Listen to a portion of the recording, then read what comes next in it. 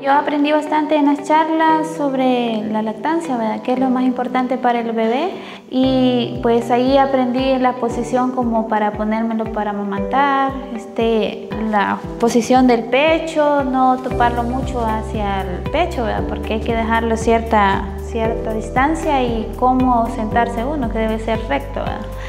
Y este, la lactancia materna es lo más importante para ellos, para que sea su desarrollo y todo esté bien del bebé.